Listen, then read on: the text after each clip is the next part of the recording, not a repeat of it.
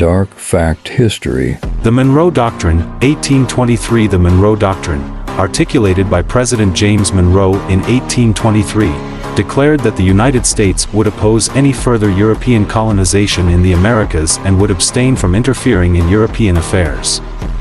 While initially a statement of foreign policy, it later evolved into a justification for U.S. intervention in Latin American countries.